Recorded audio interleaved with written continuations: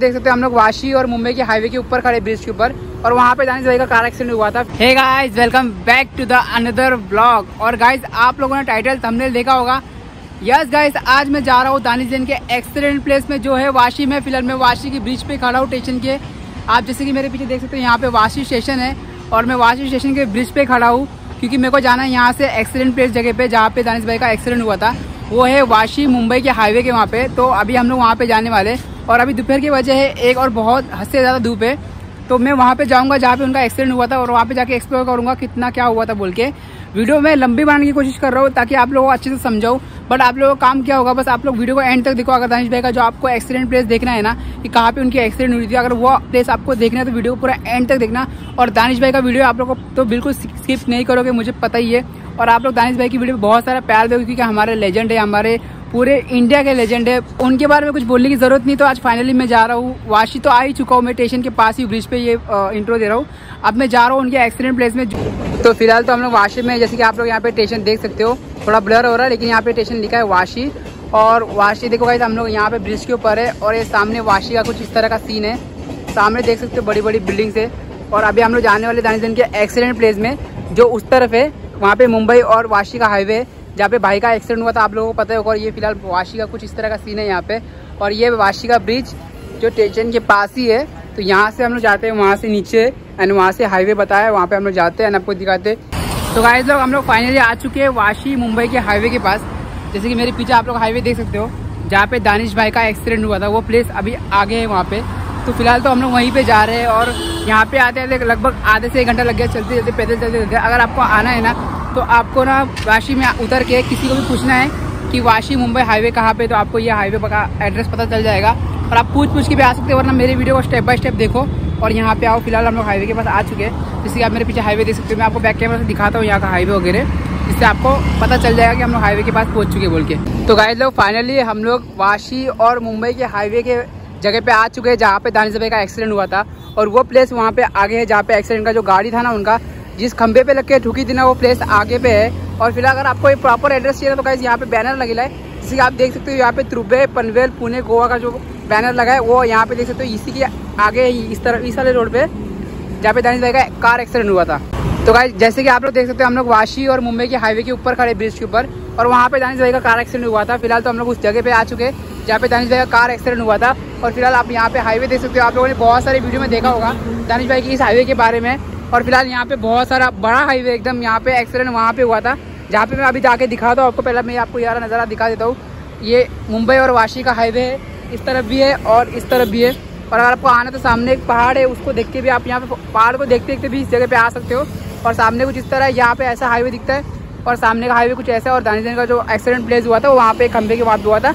वहाँ पे जाते हैं आपको प्रॉपरली दिखाते हैं। तो कई लोग, आपके सामने ही लिखा है कि यहाँ पे सावधान रहना क्योंकि यहाँ पे एक्सीडेंट वगैरह बहुत होते हैं। क्योंकि दानिश भाई का एक्सीडेंट होने के बाद ये जगह पे ज़्यादा नाम आया था कि इस जगह पे एक्सीडेंट बहुत होते। क्योंकि इतने बड़े लेजेंड का एक्सीडेंट हुआ तो फिर उतना बबा मन भी होता ही है। ज़्यादा लोगों के पास ये वीडियो चली गई दानिश भाई का एक्सीडेंट प्लेस का और यहाँ पे लिखा भी है सावधान रहे। क्योंकि यहाँ पे ये एक्सीडेंट प्लेस है, यहाँ पे एक्सीडेंट होती है, जैसे कि दानिश भाई का एक्सीडेंट यहाँ पे हुआ था। अब आपको वीडियो पे ट्रस्ट होगा कि मुझे पता नहीं बट मैंने आपको वो प्लेस दिखाया है जहाँ पे दानिश भाई का एक्सीडेंट हुआ था।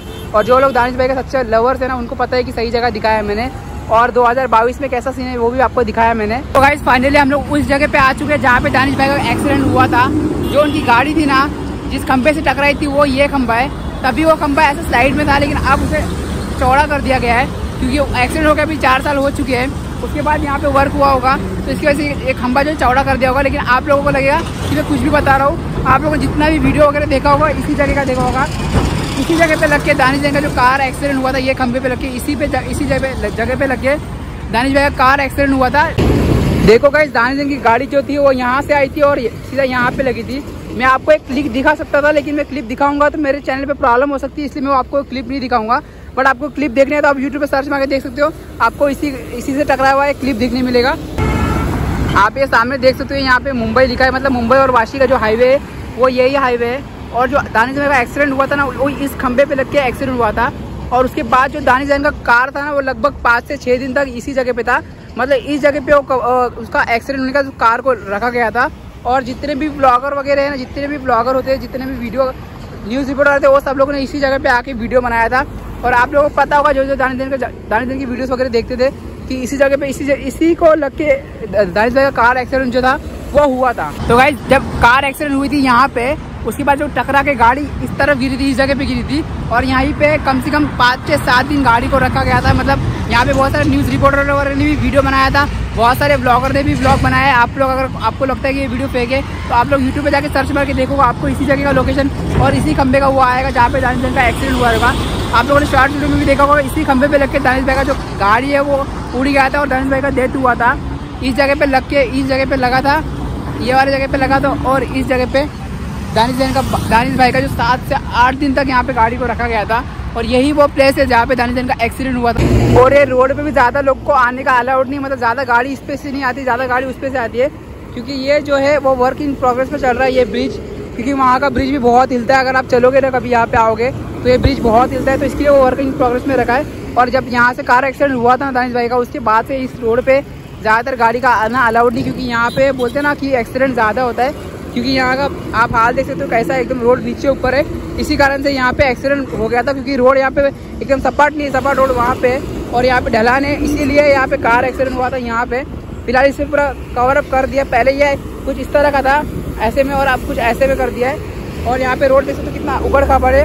तो गाइज़ फाइनली आज मैंने आपको दानिश जैन का एक्सीडेंट प्लेस दिखाया, जो है वाशी मुंबई हाईवे वाशी के बीच में। जो मैंने दिखाया, ये एक्सीडेंट प्लेस आपको दिखा दिया। आप लोगों को ये वीडियो पसंद आई होगी। आप लोगों को पता है कि दानिश जैन का जो एक्सीडेंट हुआ था वो दानिश और दानिश जैन का जो एक्सीडेंट हुआ था, मुंबई और वाशी के हाईवे के वहाँ पे हुआ था। और यहाँ पे मेरे पीछे बोर्ड भी लिखा है, यहाँ पे लिखा भी है कि सावधान रहे। यहाँ पे एक्सीडेंट ज़्यादा से एक्सीडेंट बहुत होते हैं यहाँ पे। इसके लिए इस रोड पर ज़्यादा कोई गाड़ी भी नहीं आती, एक दो एक दो गाड़ी आती कभी कभी बस इतना ही है। और बाकी आपने वो प्लेस देख लिया, जहाँ पे मैंने आपको दिखाया था का कार का एक्सीडेंट हुआ, जहाँ पे टकरा का एक्सीडेंट हुई थी। तो कैसे आज का वीडियो बस यहीं तक था। मिलते हैं आपसे ऐसे ही नेक्स्ट ब्लॉग में। दानिश के सच्चे फैमिली लवर हो तो इस इस वीडियो को बहुत सारा प्यार देना। चैनल पर चैनल को सब्सक्राइब कर देना बेल नोटिफिकेशन ऑन कर देना, अगर दानिश के सच्चे लवर्स हो तो। गाइज़ मिलते हैं आपसे ऐसे ही नेक्स्ट ब्लॉग में। तब तक टेक केयर एंड टेक